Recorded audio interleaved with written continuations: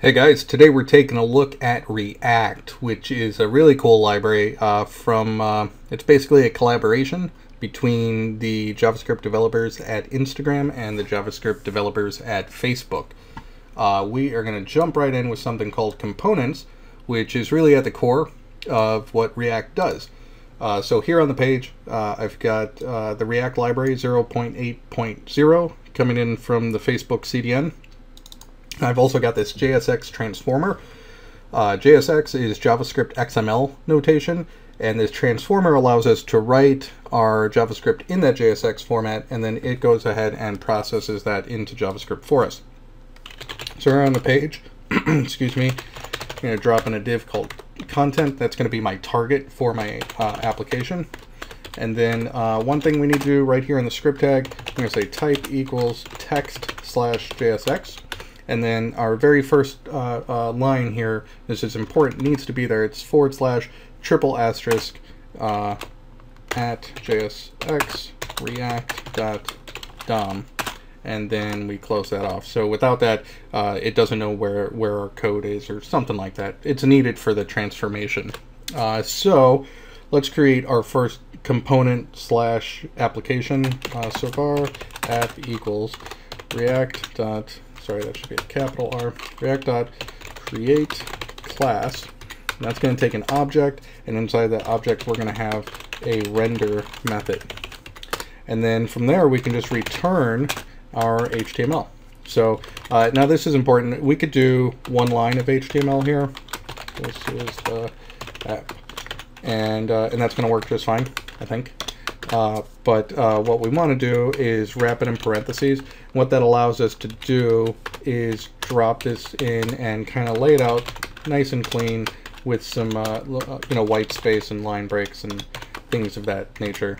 Boy, I can't type here. Uh, so we can lay it out like that. Now, when we want to render that component on the page, uh, we simply call react.render component. So react.render component we tell it the component we want to uh, render, and in our case, that's going to be app. So it's just like a tag there, and then we tell it where we want it to render that. So document.get element by ID content, which is that div we created in the very beginning. Let's load this up. So here's our first component slash application. Uh, not super impressive, but hey, it did what it needs to do. So now we're going to build this out a little more. And I think what we're going to do is we're going to make this a list of people. So I'm going to call this the person app first. And so now it's the person app. Here's the person app. Let's just reload that. Okay, so that's working. This is the person app. And what we want to do is, uh, so let's create a thing for, for a person. Uh, so we're going to have a list of people here. So let's say uh, we're going to render person. This is going to be our, our new component here. Uh, so let's do a first equals Bruce and last equals Wayne. And we'll do one more there. And we'll say, that should be first. And this one will be Peter Parker. Okay, so now we need to create our person component. So same pattern that we used before. Our person equals react dot create class. Here's our object. Here's our render method. And then in here we need to return uh, the person object. So return, sorry, return in our parentheses. We're going to close this in a div. And then here, what we're going to do is, so uh, so let's say we're going to throw this into, eh, let's use something else. Let's use a H2, and then we'll close that. And now we can tap into the properties. So each of these attributes is technically a property in React and we can just interpolate that with curly brackets. So let's do this dot props. That's how we tap into it. Let's do last, and then we'll do comma this dot props dot first. So now we've created this person component. We've nested it inside of this person app component. And then down here, we don't have to change anything. We've still got a person app. So let's reload this. And now we've got the person components on the page. So Wayne, comma Bruce, Parker, comma Peter. You know, this is starting to get a little cooler, right? Uh, okay, so let's take this a little bit further. Let's uh, So let's not have these in the uh, right there hard coded. So let's let's get this out of here and uh, make our own. So var data equals, this will be our array of people. Uh, so here's our first one. First, it's going to be Bruce, and uh, last is going to be Wayne, and then we'll do one for Peter Parker. So Parker, Peter, okay. So let's do, so now we're going to make one called, let's call it person list. And that's going to have an attribute, we'll call it data.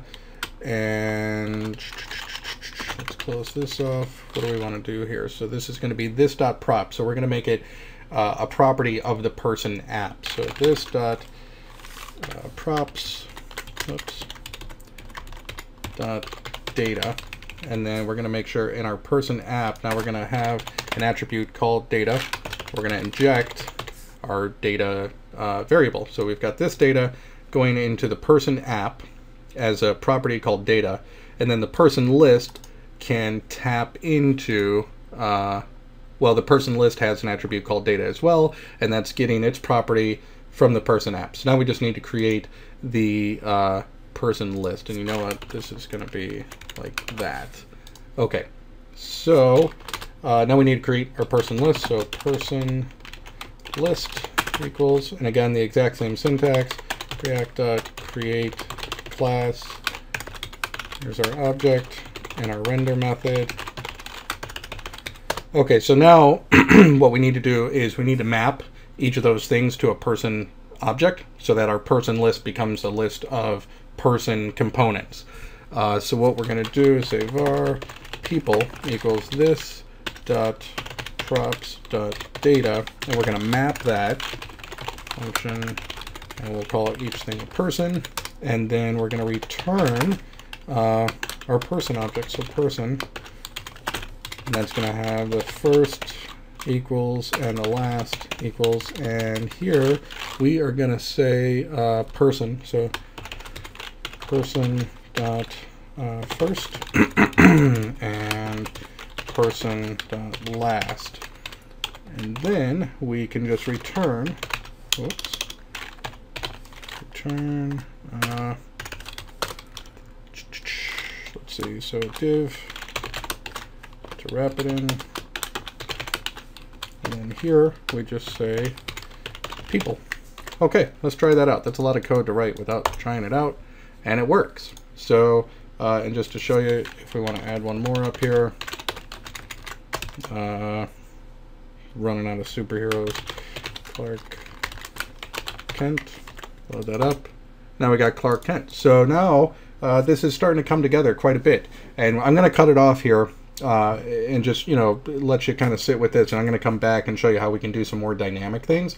Uh, but fundamentally, you know, we just created this person app and we gave it some data. You know, we, uh, and that ends up returning this person list, which takes that data. Then the person list uh, renders that out into person tags, and then we've got our person tag here. So we've got all these nested components going on here and uh, it's starting to work really well. So that is a look at the basics of components in React. Uh, we're definitely going to uh, revisit this application uh, in, a, in another video very shortly. Uh, but there you go. Hope you guys enjoyed it. Have a good one.